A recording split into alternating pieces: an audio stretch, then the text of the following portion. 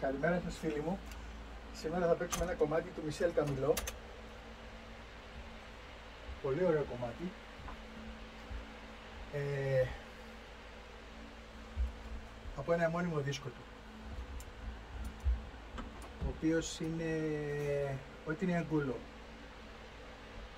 Για να το δούμε.